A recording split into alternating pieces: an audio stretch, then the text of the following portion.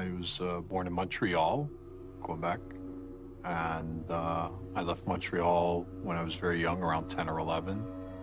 Moved to Toronto, uh, lived there till I was for here, till I was 14. Uh, moved to Florida and uh, lived there about 12, 13 years.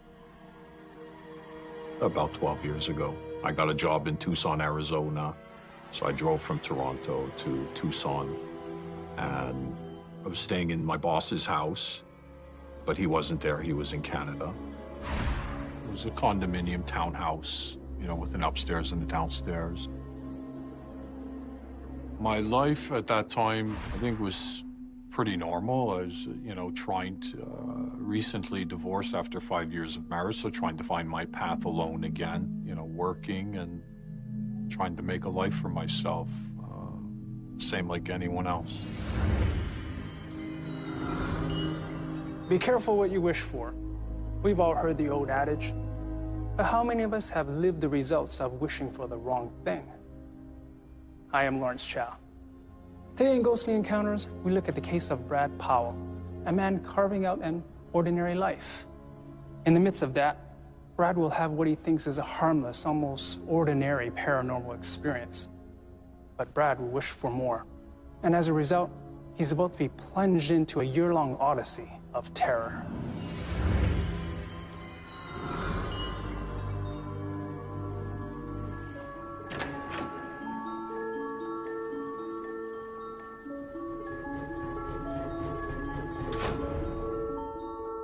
The second or third day, I noticed that the lights would flicker on and off.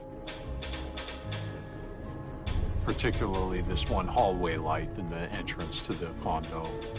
I would look back and say, oh my goodness, what the heck's going on here?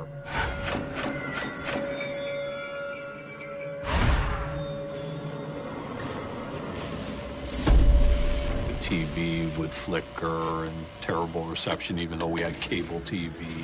So very often I heard popping sounds and interference with the TV and stuff like that.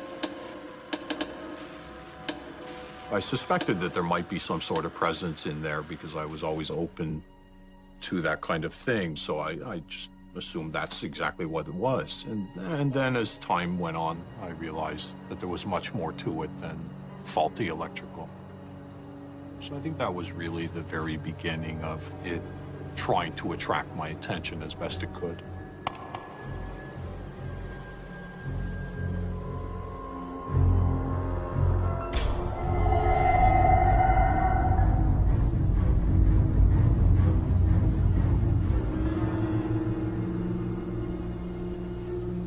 Really began to attract my attention, I decided maybe I'll try and communicate with this entity and get it to do things to prove that this indeed was really happening.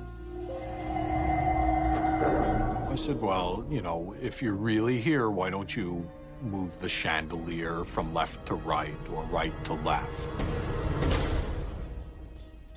But it was so subtle and so gentle the way it would move the chandelier that I wasn't sure if I was imagining it or not.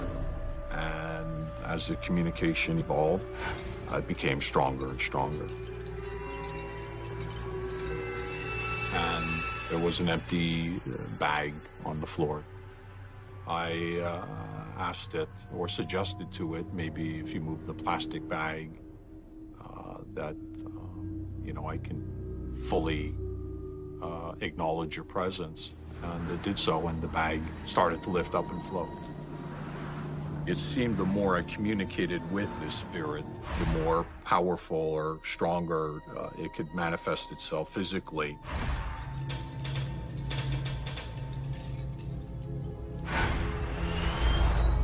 It showed itself as a cloud, like a misty form, almost like fog, with uh, sparks shooting out of it.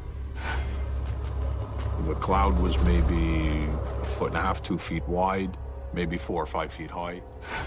I was fascinated by this entity, this energy. I was putting my hand in it, my fingers, to feel it, and to connect with it as well, because at this point, uh, there was no fear. It was neat, it was cool. At that point, there was no question. There indeed was something going on in this house. Initially, when it was uh, being nice like that, uh, I, I believed it. I thought it was some kind of guardian angel uh, or, you know, something like that. Something that was pleasant, something that was nice and nothing to be fearful of. That night I went to sleep and had a nice sleep. And it was the next day that it uh, became very malicious and very scary. Its ultimate goal was certainly to put the fear of God in me.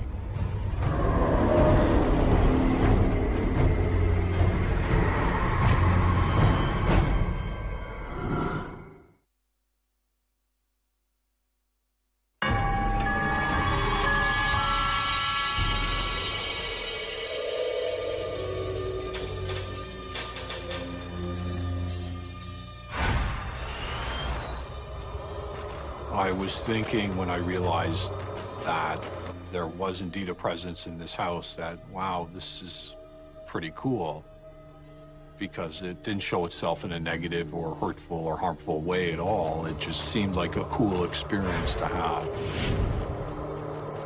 And then the following day, I really knew it was there because it did everything in its power to uh, make me very fearful.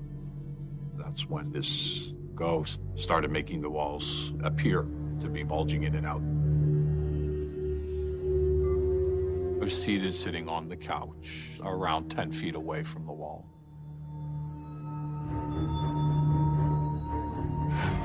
There was one wall that was bulging out.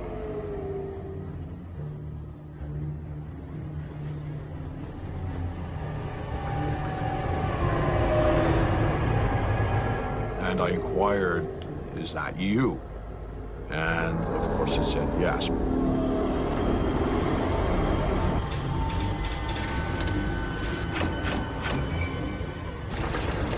It started showing these ugly, mean, evil faces on the wall. When the faces showed up, it was more like 3D actually, but they kind of moved and there were like shadows with it. But then the faces would change a little bit. They started to become very evil looking creatures, uh, monsters, whatever you want to call them. Very freaky stuff. Very scary. I remember thinking to myself, what am I going to do next with this situation I've gotten myself into? All kinds of things raced through your mind. It was horrible. There's no question in my mind that that did indeed occur. That was the beginning of, of an onset of uh, total panic and fear. And the more fearful I became, uh, the more uh, malicious it became. It would also physically attach itself to me when I was trying to sleep.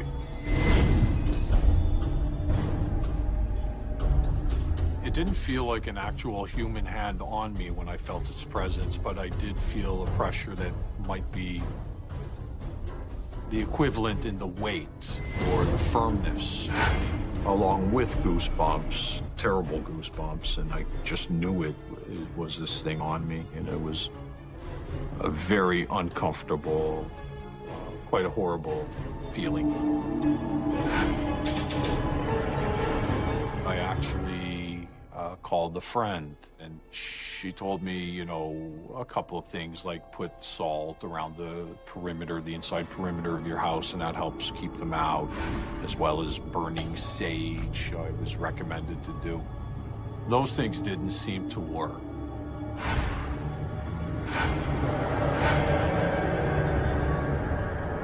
This went on in the house for about a week. But that week was a very, very long, hard week. And uh, I got to a point where I couldn't take it anymore, and I packed my bags and left. I had to quit my job. I hopped in my car, drove from Tucson to Florida. I felt safe in Florida because I used to live there. When I was in the car, I could feel this spirit on me again with the goosebumps and the pressure as well. It was always there.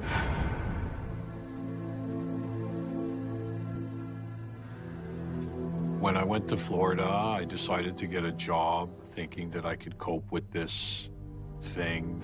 I was actually living in a motel at the time. It had an air conditioner in the window. I barely slept the whole time I was in Fort Lauderdale. Uh, from the time I left Tucson, Arizona, um, I had many, many sleepless nights, paralyzed with fear uh, under my blanket uh, uh, until I would just pass out from sheer exhaustion. One night I was in the motel room. It was in the evening around six o'clock. I'd just gotten home from work and I hadn't slept in weeks. And I was so exhausted. I knew it was there, but I said, no, I just got to pretend it's not there and doze off because, you know, when you're in that state of mind, you need your rest. Things get worse when you're not uh, resting properly.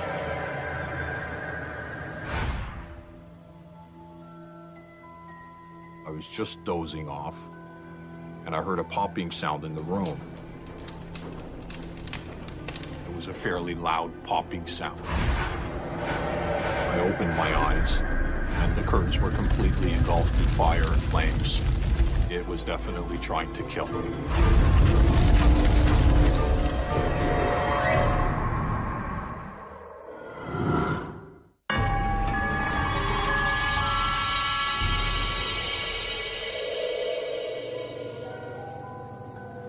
I got a job in Fort Lauderdale. Uh, I was actually living in a motel at the time.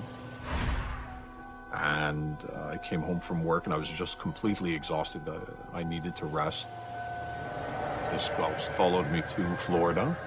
Every night it was there with me when I was trying to sleep, just trying to make my hell a little bit more hellish. But I said, no, I just gotta pretend it's not there and doze off. And I heard a popping sound in the room. It was a fairly loud popping sound. I opened my eyes. The curtains were completely engulfed in fire and flames. And there was a fire coming from the carpeting up the wall and up the window and the curtains and up to the ceiling. And the, the room was completely, instantly packed with smoke. I grabbed my things out of the room with the fire still going on. And this is all a matter of seconds. And then I ran right back in and put the fire out. Looking back, had I fallen asleep, it, you know, who knows what would have happened. It would have certainly been a deep sleep. There's no question uh, that this thing started the fire somehow. This entity was definitely trying to kill me. And uh, at that point, uh, I knew it was time to check out. I needed to be alone. I realized that uh, I needed to focus all of my energy uh, on trying to deal with this and cope with this and to get through it. And that's when I decided to go to buy a tent and a sleeping bag and uh, go camping. I quit my job and uh, I drove near Naples, Florida on the west coast to a state park. And I camped out in the swamps, which was very hard, very, very hard to do. Well, things changed for me because I had very little money. So my priorities changed, and that was eating, making a fire. When I was uh, camping out, it felt like it was always very close.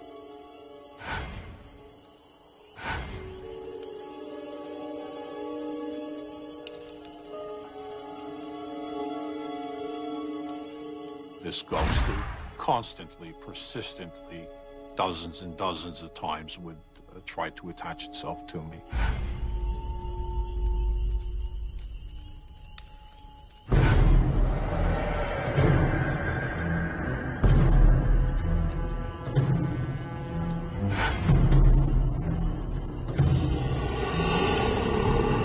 And sometimes it succeeded because I was still not fully understanding of how to maintain that barrier of it completely, at least physically off me, if not around me. I knew it was this energy, this entity was, in complete control of what was going on. I was just completely lost. This spirit was doing everything in its power to make me go crazy, and it very nearly succeeded. I was feeling very suicidal because I was unable to cope. I was completely helpless. I couldn't reach out to anyone. I felt that my family would not understand or my friends what I was going through, and I chose not to tell them as a result. I didn't feel like I was an outcast from society. Uh, I I was cognizant of the fact that I put myself in, I guess, a self self-imposed exile uh, in but it wasn't really an exile. It was just what i needed to do to cope and get through what i was getting through. And people under times of trauma and stress people do diff- different people do different things to cope and that's what i did. Eventually i went back to canada drove back to canada here in toronto and i was staying with one of my brothers on his farm and one night I was lying in bed.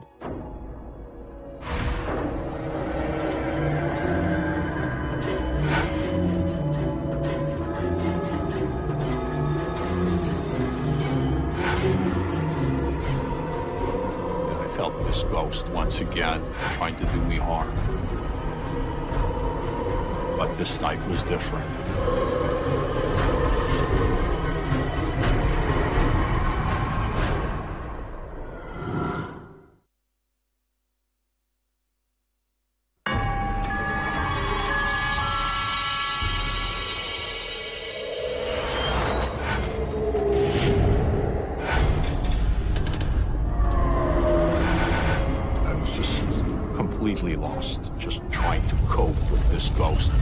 By then, I was also very suicidal. I needed to figure out a way to get through this with my sanity intact. So eventually, I drove back to, to Canada and stayed on my brother's farm here in Toronto. And one night, I was lying in bed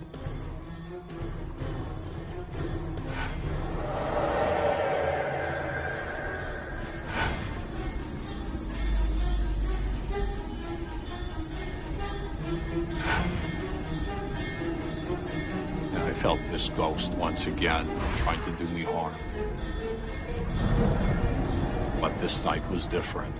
I had enough and I was tired. And I yelled out, F you, get the heck out of my life. I'm done, finished. And I was very angry. Just angry at myself and the situation and a year of torment, a year of hell with this thing and I can instantly feel a, a, change of the vibe, the energy around me. I knew that something big had just occurred.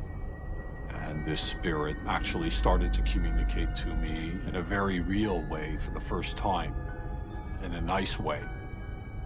I do remember saying it was an old man that had died and that it was also apologetic for what it did to me, that it was just he was very angry and frustrated because he was trapped or stuck in a different realm, in our, our realm. And I actually ended up having to console it or him uh, in those last moments. And I told it, now it's time for you to go to the light. It was a little bit scared, and I had to coax it uh, or him as nicely and gently as I could that it was doing the right thing by going to the light. And then it went to the light and it was over. After it left me, my immediate feeling was, wow, I'm free. I felt a little bit of peace, which was very welcome. And I knew when it was over, I knew it was over. I definitely felt more empowered, uh, but uh, the, the sense of freedom I remember most. It felt like that 900 pound gorilla fell off my back, and it was an amazing feeling. It's a good question to ask why I didn't get angry before. No, I just don't know. I think it's probably because I wasn't ready. I wasn't ready to let go of the suffering that I was going through. And I think in life, people choose their own suffering. Whether it's unconscious or somewhere between unconscious and conscious, I think we do do that. And I guess that's the suffering I chose. And when I was ready, I was ready. Brad says he wasn't ready to let go of his suffering. Our expert Patty Allen thinks he may have lost his power to do so early on, perhaps during childhood, perhaps in his divorce. Those who intentionally seek out the paranormal, like ghost hunters, have to be emotionally grounded with strong boundaries. She says Brad had to develop those boundaries in order to have the power to get angry, and only then could he put an end to his torment. It's difficult to say why something like that happens to a person. We all have our own paths, and I think that was part of my path. Ultimately, I would say to anyone, if if they are very interested and they are actively pursuing or trying to experience these kinds of encounters, to be careful. It's okay to explore. That's an important part of life. But please be careful. You don't know what you might get yourself into.